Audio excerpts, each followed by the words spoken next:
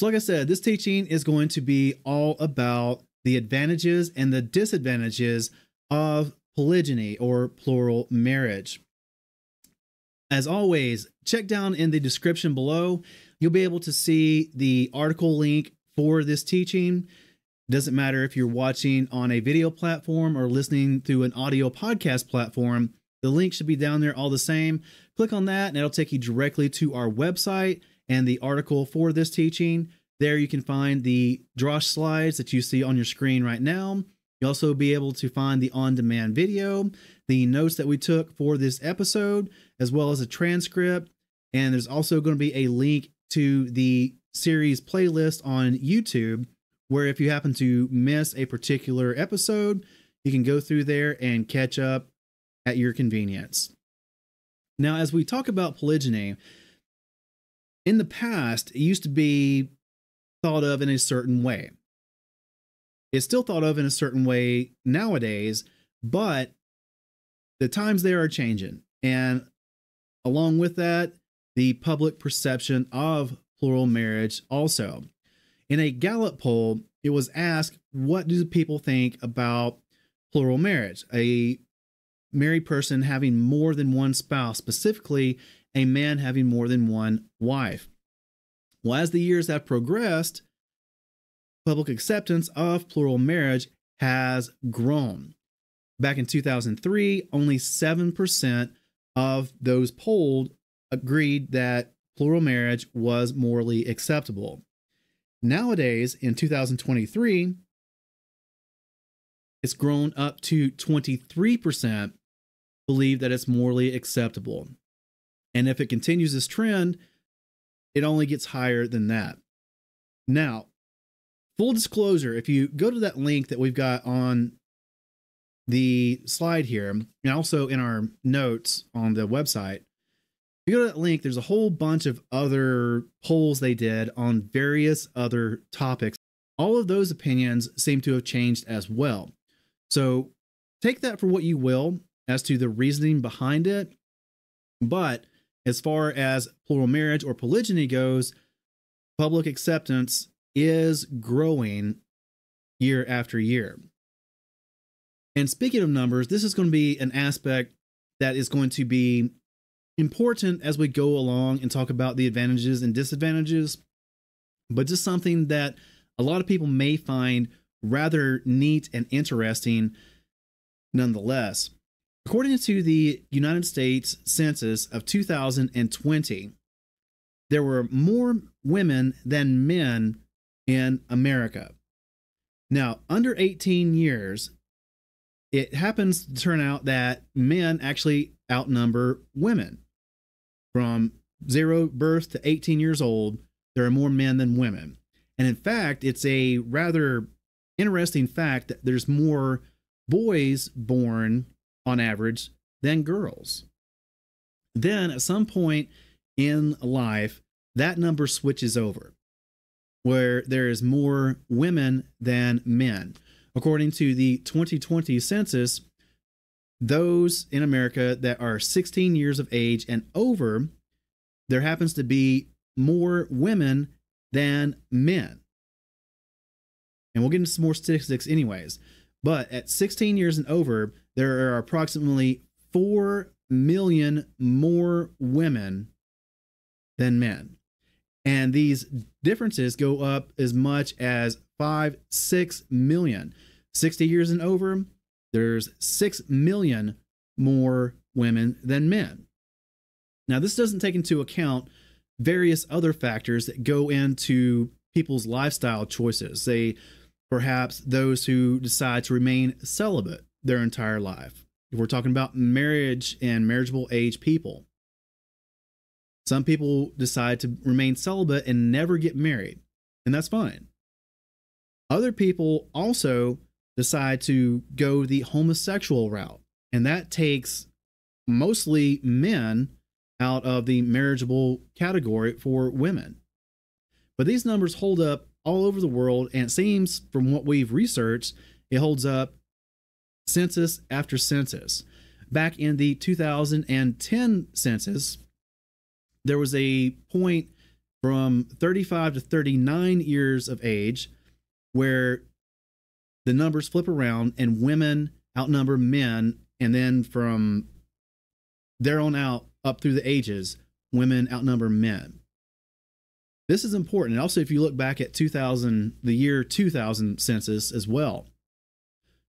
So, up to a certain age, men outnumber women. And then, for whatever reason, women outnumber men. There are various things that go into that. Men tend to choose more risky jobs and are more prevalent in those risky jobs where their life is in danger. Take, for instance, military, law enforcement, fire department, oil rigs, wilderness, all kinds of stuff. These occupations are dominated by men more than women, and as such, men's life expectancies kind of decrease because of that, and the number of men decrease because of that. Other reasons as well, men, unfortunately, we tend to take more risk in just being dumb sometimes, especially in our early life. As teenagers, as early 20s, some people suffer from alcohol overdose or driving too fast or extreme sports, things like that. And these are things that women don't fall prone to nearly as much as men. So, for various reasons, there's a point in our lives where the number of women outnumber the number of men. And usually, this affects the marriageable age category of both women and men. So during the marriageable years, there are more women than men. And that's obviously relevant to our discussion regarding plural marriage and polygyny. And this tends to hold up over most of the world as well. As you can see on the map here, the countries that are in blue, that means there are more females than there are males in the population at a significantly lower number of countries that are in red here on this map, that means there are more males than there are females. Now, one of the red countries here is China, and I don't really count them because they have artificial or have had artificial population control. So, you know, take that for what it's worth. But there's this even smaller number of countries there that you can see that are in green, which have a more proportionate number, we have more of an equal number of women and men. But most of the world, and especially in North America and South America, you have the population which is composed mostly of women. There are more women than men. And like I said, that is in the marriageable age category over 16 to over 18. So keep all this in mind as we go throughout this drosh, throughout this teaching. This is also going to be a rather more relaxed, more scaled down teaching than we have done in the past. There's not going to be as many links, as many references, but still lots of good information and things to consider when thinking about plural marriage or polygyny. Now, let's go with the advantages first. Starting out with some of the advantages of plural marriage is the social support that comes along with this type of lifestyle. You have various networking opportunities that you would not have had in a purely monogamous relationship. This is for obvious reasons. You're there's more people in the family going out and touching more people on the outside, whether that's through work, social clubs, churches, families, things like that. But your networking influence greatly increases and don't really need to explain the advantages of networking in your personal and professional lives. You can also have a greater opportunity to develop various alliances, we put it that way, help and support from social networking and stuff like that. Another advantage is the economic support. And this comes from both professional sphere and the personal sphere. There are shared resources because you have one family You can still just do one house with multiple people, not just two. You could have fewer cars, potentially, depending on your lifestyle choices and what you decide to do. But there's also the impact of shared burdens. Many hands make light work. You can get more done, usually more efficiently, with more hands in less time. You have the potential for multiple incomes. This may not always be the case, depending on how you choose to conduct your family.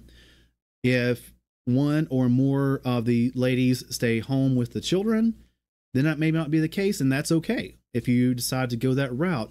But if every adult is working, that would be the potential for multiple incomes coming in with those exact same shared resources. The next one is going to be emotional support, and this is more of an advantage for the ladies that are involved. There are a greater number of shoulders to cry on and ears to, that can listen to you than in a monogamous relationship. And let's just face it, men and women are different. If you're listening to this right now, you already know this. You're part of the common sense group that knows men and women are different. As such, men and women process and handle emotional things differently than the opposite sex gender. With that being said, in the case of a plural marriage, you have two or more women who can share and deal with things on a female level from a female aspect. And you wouldn't have that in a monogamous relationship. Now, yes, in a monogamous relationship, the lady has her friends and family that can kind of serve the same thing, but not to the same degree as those who are in the same marriage. When you're in a marriage, you know things about your spouse and your ch- children and those involved that the outside world doesn't know about. And you understand things on a more on a deeper level than the outside world ever could. So that emotional support is going to be a much more different than just going out and talking with your friends and stuff like that. With a fellow sister wife, that gives you that same female understanding and female aspect to the whole emotional aspect of marriage. Yes, emotional support, a lot more shoulders to cry on, ears to listen to, and you have that whole female versus male way of handling things that that's an advantage you get from plural marriage. Obviously, it goes without saying, but plural marriage offers sexual support as well. There's a lot of men. Obviously, polygyny would help with this need and this desire. This is also an advantage for women. I learned this firsthand when I was talking with someone about the Bible and plural marriage, and it was a lady, and she she's a distant cousin, so she's in my family. She wasn't someone I was seeking after, but anyways, she was already married, and she said that yeah, my husband, I'd be fine if he had another wife as long as she takes care of the sex. So there's that aspect. Some women would rather offload the sexual aspect onto another wife, as it were. So, sexual support is not just for men, it can also be an advantage for women, also. There's a greater selection of husbands within a society that practices plural marriage. Think about it like this we already know that there are more women than men. So, if we just do a one to one matching up, there's going to be some women who are left out of the game, as it were. They have absolutely no opportunity to have a husband because all the men would run out. Now, in a polygynous society who is accepting of this, as a woman, you have your pick of the litter. It doesn't matter if he is married or not. And this is to your advantage. You can pick someone who is a wonderful guy who is very wealthy, very successful even though he might have one, two, three, or ever how many wives. You can still go and be his wife and share in that family. How many times have you heard a woman say, All the good guys are gone because they can't find a good man to have a relationship with? Well, in plural marriage, that excuse is gone because as a woman, you can go after any man you wish. Now, this helps. Well, we'll get into disadvantages later. But yeah, for women, polygyny offers the advantage of a greater selection of husbands, a greater selection of men, and offers a greater selection of higher quality men. Because this requires men to really step up their game and be men. Another advantage to polygyny is the potential for an abundance of children. Maybe you don't want a lot of children, and that's fine too, but some people do want large families, like myself. I'm the kind of person who would love to have an extremely large family. 20 to 30 kids is ideal for me.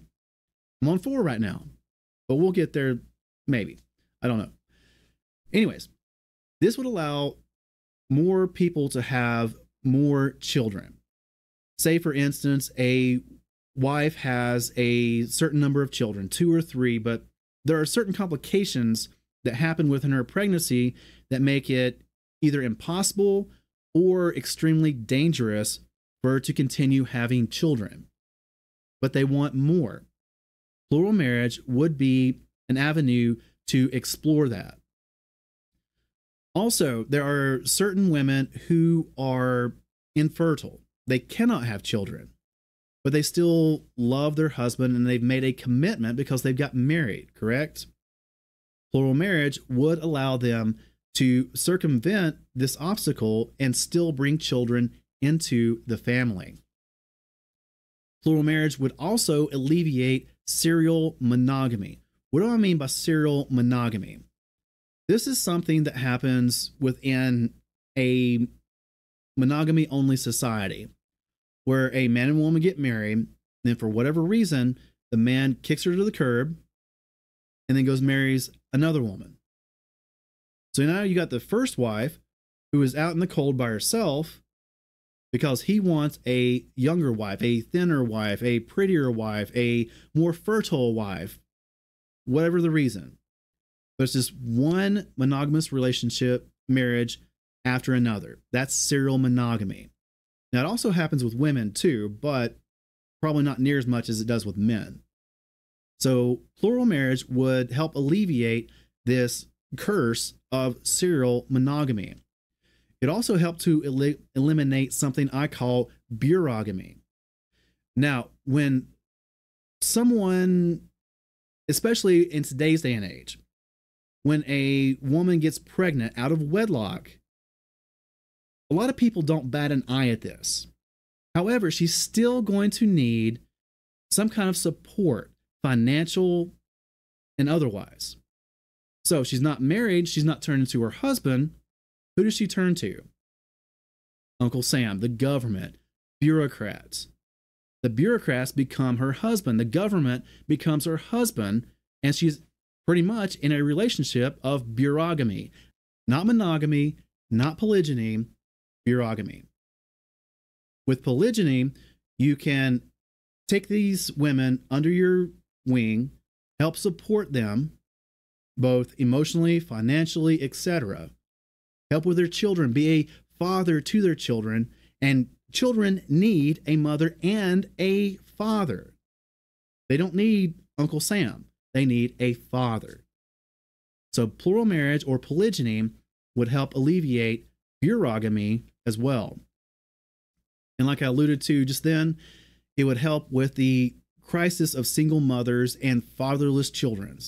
It would also help with orphans because a larger family with more hands to help would be able to adopt and take care of a lot more kids who don't have parents, who have drug addicted parents.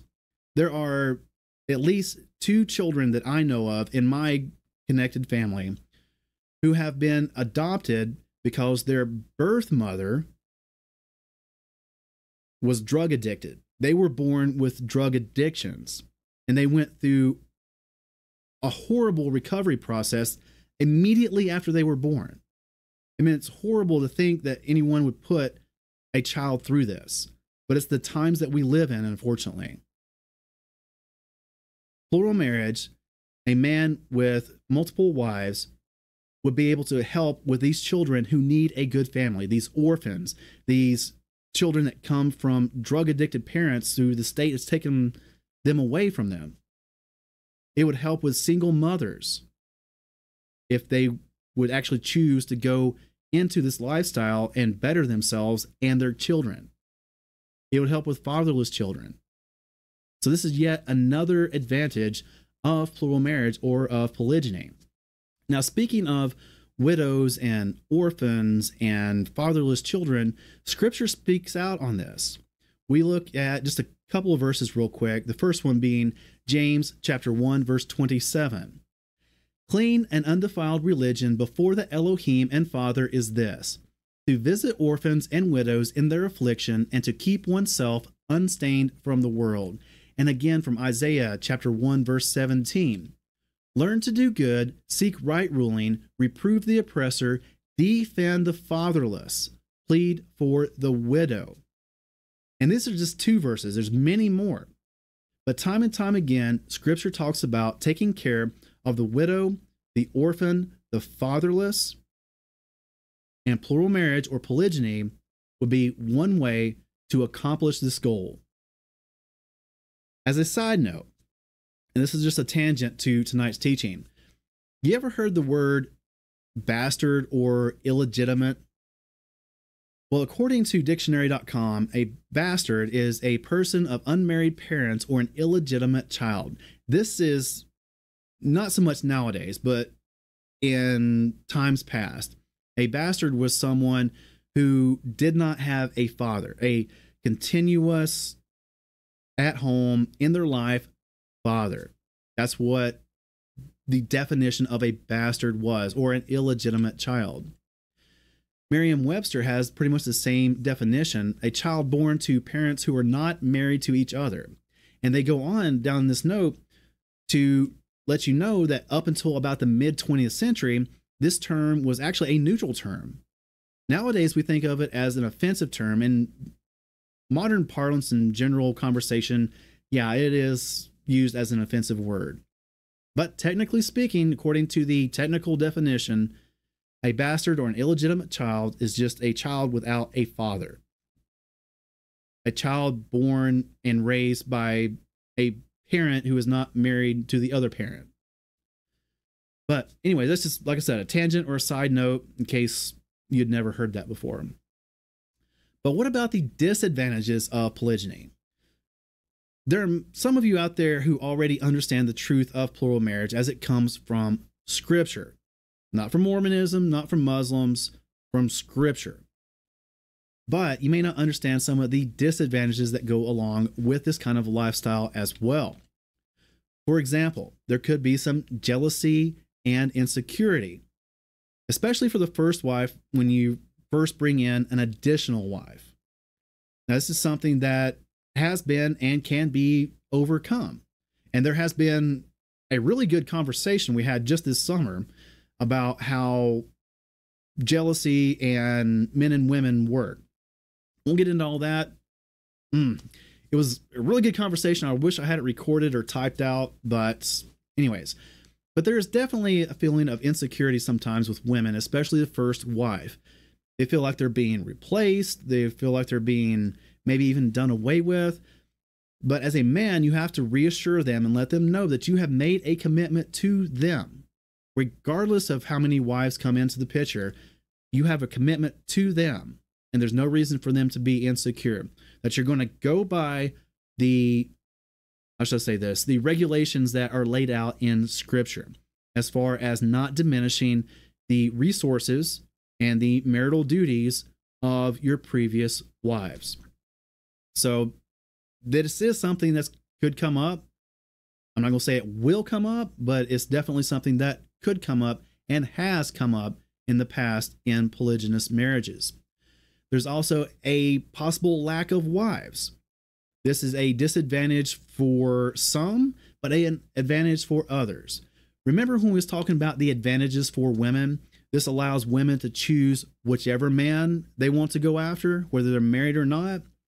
Well, if a lot of men are having multiple wives because they're actual real men, well, the beta males, those on the lower end of the spectrum, are going to lose out and they're not going to have that supply of wives. So that is a that's an aspect that is disadvantageous for some but advantageous for others. So take that as you will. A big disadvantage that I personally think that a lot of us suffer from, especially here in America, is the lack of examples or experience within our culture. We're not raised in plural marriage situations. We don't see other men and women engaging in this, setting a good example for us. Therefore, when we come up to the age of marriage, we don't have any experience or practice in this lifestyle. So that is a disadvantage. I have personally seen several families in the same situation, but they overcame it. They bettered themselves, they educated themselves, and they're living happy, productive lives with one man and two, three, four women. So it can be overcome, but just know that if it's something you decide to get into, that you're not getting into it because your father set a good example with his three wives, or your grandfather didn't show you his example with his eight wives. You're coming at this a lot of times brand new, but that is starting to change. Also, another disadvantage is there's only so much time to go around. We all only have 24 hours in a day. And that time has got to be divided up between sleep, work, each of your wives, each of your children, and maybe a hobby. You got something like that.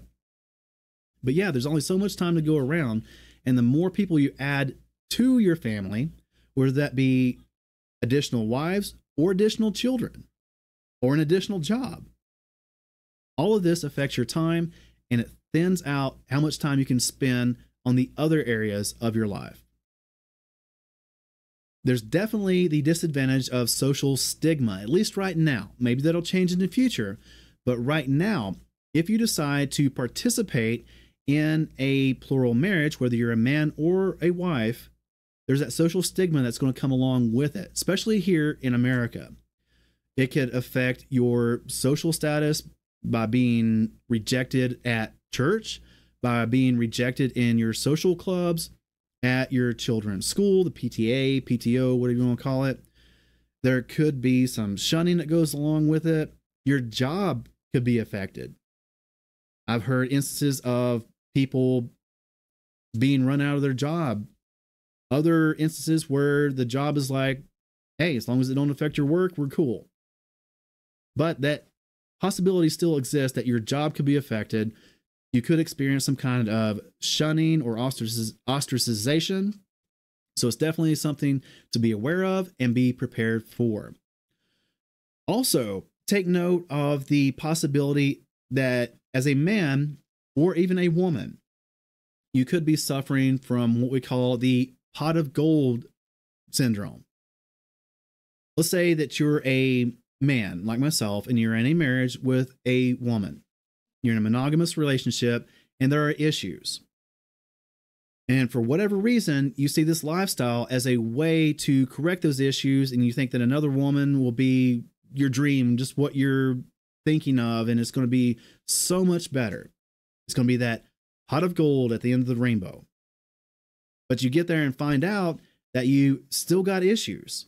Even with a second woman, you've got issues in that relationship as well. And now there's three people in a relationship with problems. And all along, you as the man are the one that should have been correcting yourself before adding to your family. You've got to be that biblical alpha male the way you're supposed to be Handle your own house first before adding to your house. So don't think that adding another wife is going to be that pot of gold at the end of the rainbow that's going to solve everything. Because until you've got your own house in order, and I don't mean your physical house, but right here inside you, in your head, until you've got your own house in order, adding another wife is not going to solve anything. They say the grass is greener on the other side of the fence, but sometimes the grass is only greener over the septic tank. So keep that in mind. Correct yourself before you bring anyone else into your problems. So, in summary, I'm going to wrap this up, be a short one tonight. As we saw from the statistics, not just my word, but the statistics, women outnumber men on a global scale, even. Like we said, right about birth, there are more men that are more boys that are born, born than girls. But at a certain point, the demographics and the numbers switch around, and women outnumber the men, especially at marriageable age. There are a great number of advantages to polygyny. We went over a lot of those, and the vast majority of those were advantages for both women and men. Not just men, but also women. There are a great many number of advantages for women in polygyny. However, also understand that there are some serious disadvantages that have to be understood and accepted in this subject as well. And there are many aspects to consider when you're considering plural marriage, whether you're considering partaking in this lifestyle or even just studying it out. Make sure that you know as many of these aspects the ins and outs, the pros and the cons, the advantages and disadvantages of plural marriage. Because there are both good and bad to this lifestyle. And that's just the God honest truth. Thank you so much for joining us tonight. Sorry that this was shorter and not as in depth and resourced as normal, but felt after everything we've been through before in the series, we'd go a little bit lighter once again, check the link in the description below or go on to godhonesttruth.com and click on the post for this teaching. You'll be able to find the on demand video. You'll also be able to find the Drosh slides that you saw on your screen tonight, as well as the notes we took for this episode and the transcript as soon as that is available. We hope that you learned something tonight. And if you did, leave us a comment down below telling us what you thought whether you liked it, whether you didn't like it, hit that thumbs up button. Also, hit that subscribe button and ring the bell so that you're notified every time that we go live or upload an on demand video.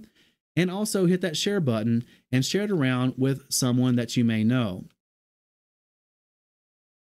Thank you for joining us for another production from God Honest Truth Ministries. We really do appreciate your time and hope that we have been of service to you. If you have any feedback, then please reach out to us by writing to team at godhonesttruth.com. And make sure to visit our website for more information on our social media links, audio Bibles, teaching resources, and so much more.